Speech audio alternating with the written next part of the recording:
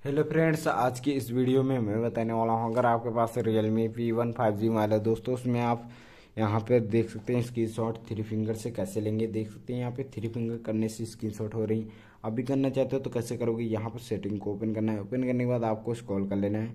और यहाँ पर स्पेशल फीचर्स पे क्लिक कर देना है। इतना करने के बाद यहाँ पर आपको गेस्चर मोशंस पे क्लिक करना है और यहाँ पे swipe down with three finger इसको आप डिसेबल कर दोगे तो थ्री फिंगर से स्क्रीनशॉट नहीं होंगे दोस्तों, इसको इनेबल करना है, तभी आपके मोबाइल में थ्री फिंगर से स्क्रीनशॉट होने लगेंगे। दोस्तों, अगर वीडियो पसंद आए तो वीडियो को लाइक करके चैनल को सब्सक्राइब कीजिए